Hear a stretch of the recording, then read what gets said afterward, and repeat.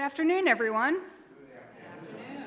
Um, just a, a little um, stage direction. The offering basket is in the back, it's stationary, and our offering is going to Love Inc., the Food Bank, and Hope Within.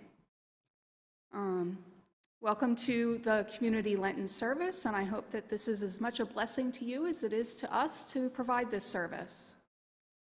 At this time, we will begin with our call to worship, which is Psalm 121. I lift up my eyes to the hills. From where is my help to come? My help comes from the Lord, the maker of heaven and earth. He will not let your foot be moved, and he who watches over you will not fall asleep. Behold, he who keeps watch over Israel shall neither slumber nor sleep. The Lord himself watches over you. The Lord is your shade at your right hand. So that the sun shall not strike you by day, nor the moon by night. The Lord shall preserve you from all evil. It is he who shall keep you safe.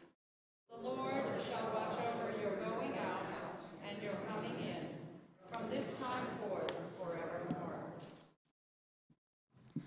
Let us pray. Almighty God, you know that we have no power in ourselves to help ourselves.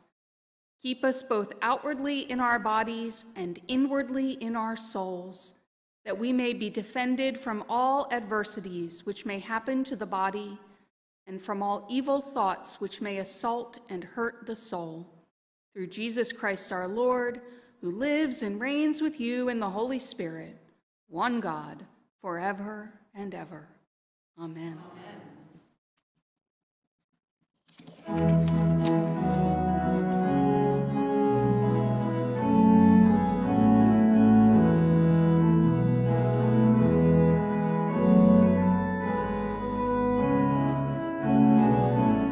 Our hymn is found in the blue hymnal.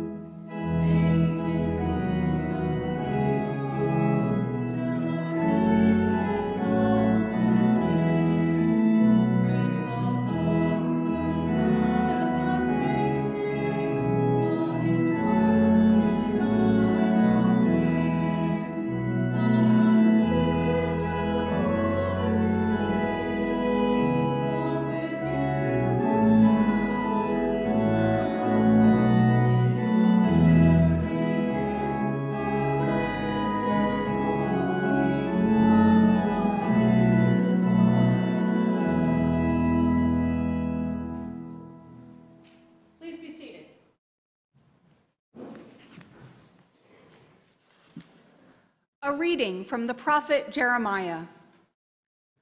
The word that came to Jeremiah from the Lord Come, go down to the potter's house, and there I will let you hear my words.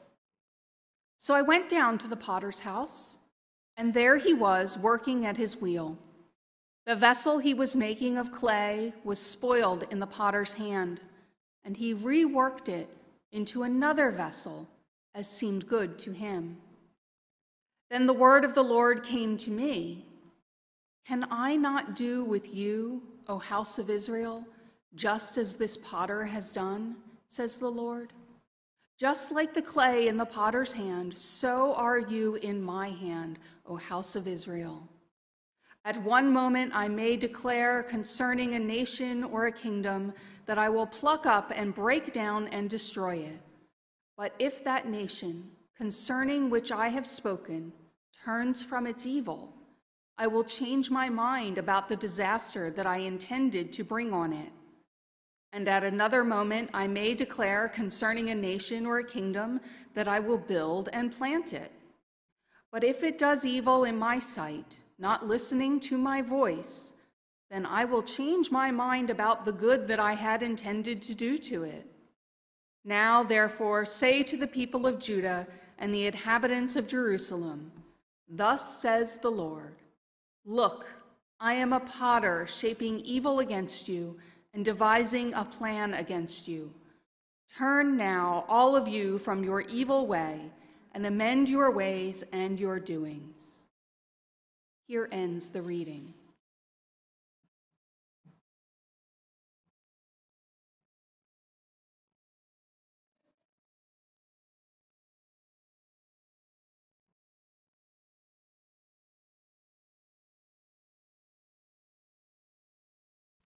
In the name of God, Father, Son, and Holy Spirit, Amen. This is a poem from Franny Choi from a book called The World Keeps Ending and the World Goes On. Before the apocalypse, there was the apocalypse of boats, boat prisoners, boats cracking under sky iron, boats making corpses bloom like algae on the shore, before the apocalypse, there was the apocalypse, apocalypse of the bombed mosque. There was the apocalypse of the taxi driver warped by flame. There was the apocalypse of the leaving and having left, of my mother unsticking herself from her mother's grave as the plane barreled down the runway. Before the apocalypse, there was the apocalypse of planes. There was the apocalypse of pipelines legislating their way through sacred water and the apocalypse of the dogs before which was the apocalypse, before the, which the apocalypse of the dogs and the hoses, and before which the apocalypse of the dogs and the slave catchers whose faces glowed by lantern light. Before the apocalypse, the apocalypse of bees, the apocalypse of buses, border fence apocalypse, coat hanger apocalypse, apocalypse in the textbook selective silence. There was the apocalypse of the settlement and the soda machine, the apocalypse of the settlement and the jars of scalps.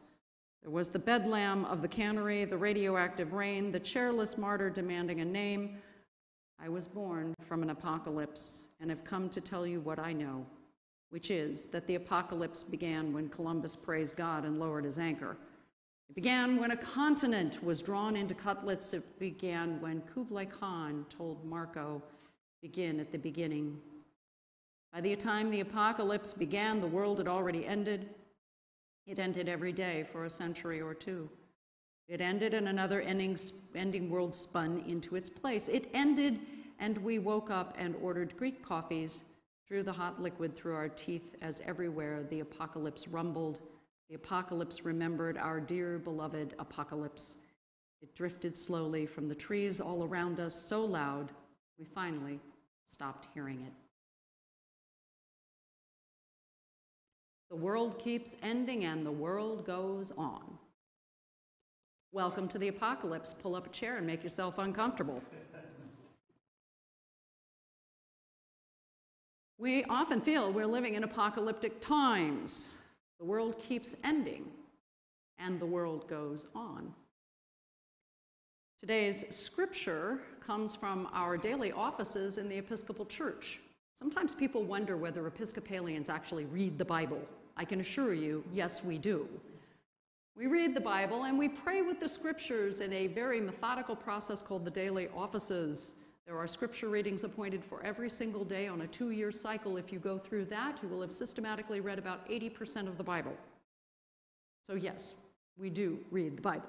And today, we hear in the 18th chapter of the prophet Jeremiah, the word of the Lord comes to him and says, Go down to the potter's house and he watches the potter work. And the potter throws the clay and begins to shape, begins to shape this vessel, and it is not pleasing to the potter, and so the potter smushes up the clay and starts over. And the word of the Lord comes to Jeremiah This is what I will do to the people of Judah.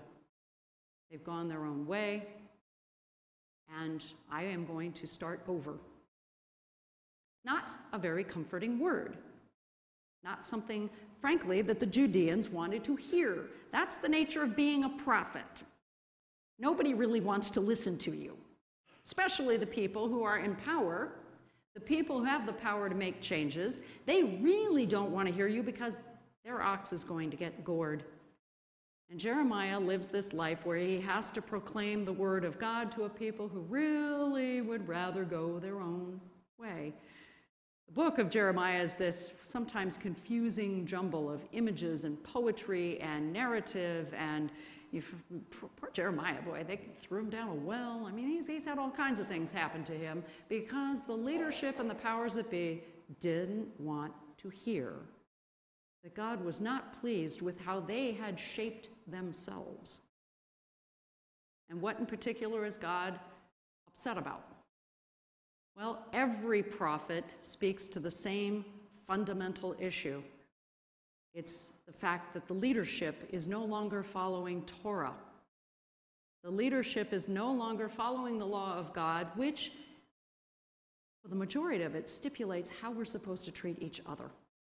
And over and over, the prophets, including Jeremiah, speak of how the people are ignoring God's command to look out for the marginalized and the underclass. Okay?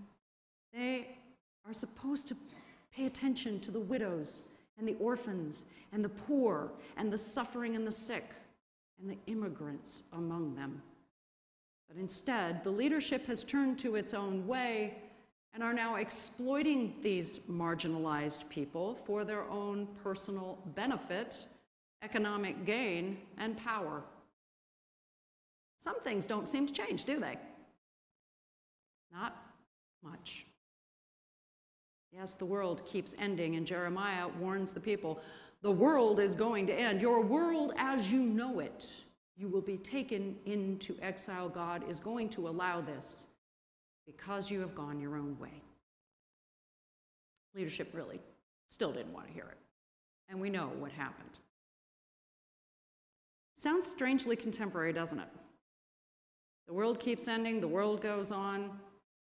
God says you're exploiting the marginalized among you, and I really don't like that because anytime when you want to ask where is God, God is on the side of anyone who is on the margins. We are living in an apocalyptic time, always living in an apocalyptic time where things are being revealed to us, things that are very hard to look at. Some of them are huge and global, and we can feel absolutely powerless to do anything about them.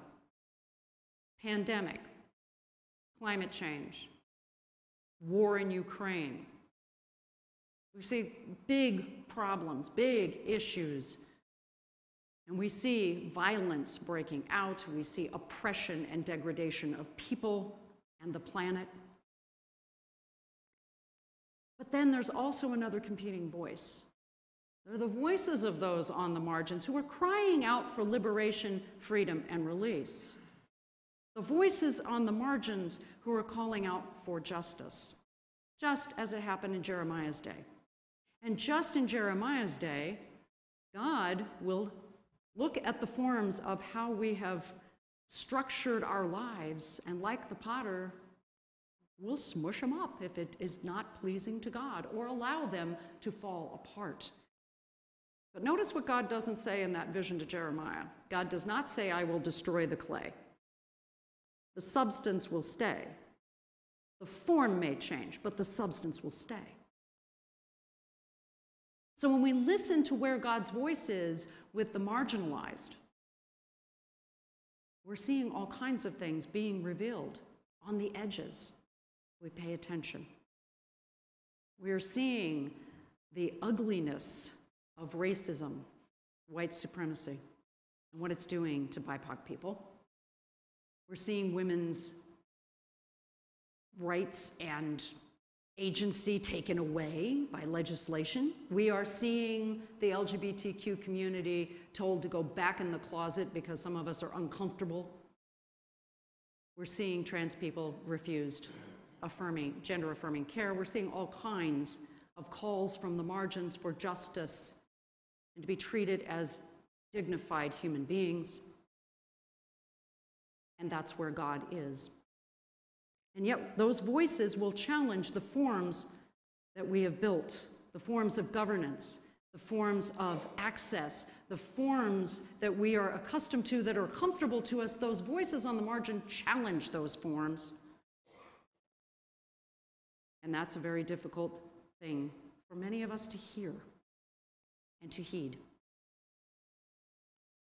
And so when these cacophonous voices, all of this catastrophe, all these forms crumbling around us happen, I think our question to ourselves is where is the voice of love? How do we as Christians walk in the voice of love? And love is the voice of God. Where is love? And how does love respond to God's call from the margins? Are we going to uphold forms and structures that continue to harm and marginalize? I don't think God's in that. Are we going to help those who are on the margins crying for justice to hear the life giving, liberating voice, even if it means forms that we're accustomed to have to come down? It's an uncomfortable time to live in, it's liminal space. And yet, it's the opportunity for Christians to be that voice of love instead of a voice of oppression and hate.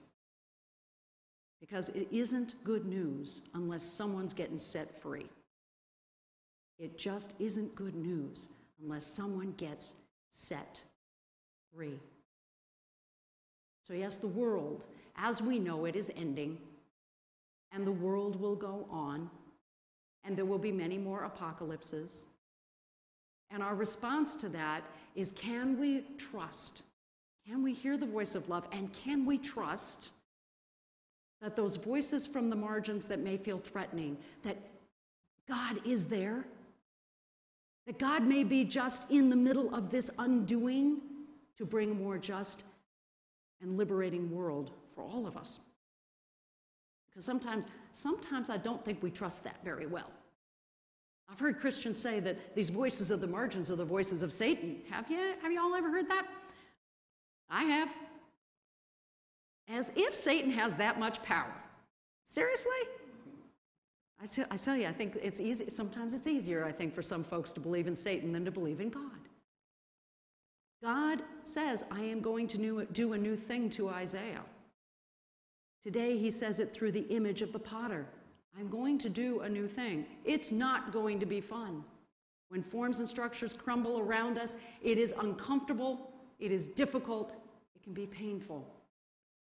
And yet, perhaps, just perhaps, all of this chaos and mess surrounding us is just the birth pangs of this new thing.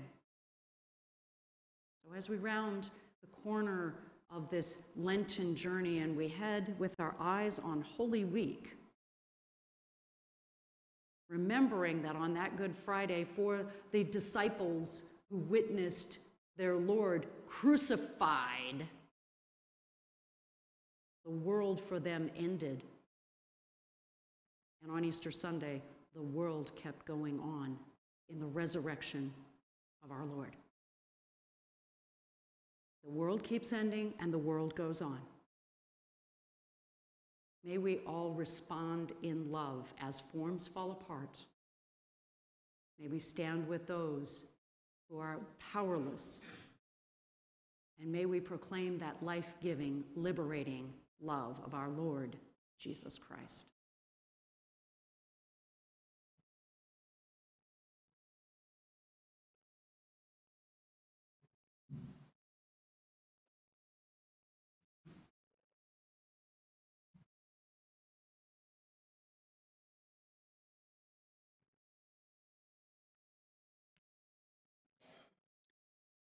The response for our prayer of intercession is hear our prayer.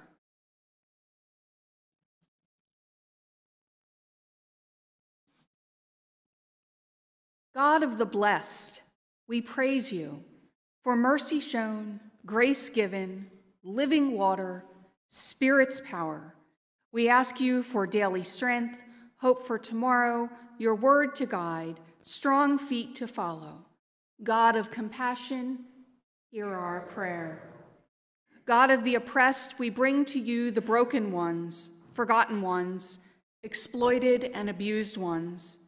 Bring freedom and release, love and compassion to damaged hearts and souls. God of compassion, hear our prayer. God of the distressed, we bring to you the grieving ones, hurting ones, suffering and wounded ones. Bring wholeness and healing, comfort and relief to broken bodies and minds. God of compassion, God of the dispossessed, we bring to you the lonely ones, the homeless ones, thirsty, tired, and penniless ones. Bring hope and sustenance, physical and spiritual food, to hungry bodies and souls. God of compassion, hear our prayer. The Lord is good to all and has compassion on all creation. May the peace, love, and compassion of the Lord be with you now and always. Amen.